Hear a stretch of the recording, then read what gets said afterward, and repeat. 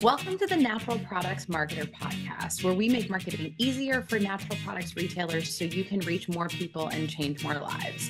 I'm Amanda. And I'm Tina. And today we're talking about our stories and how we got into this industry and how we can help you as well. That's why we're doing this because um, we want more people to be able to live better and more healthy lives without having to work so hard for it. They shouldn't have to um, ask 50 people in the area, like, where's the place where I do this? They should be able to look up online and find you. And we want to help them do that. We want to help you be found and stand out in your area so that pe- your community has access to the very skills and expertise that you can bring to the table.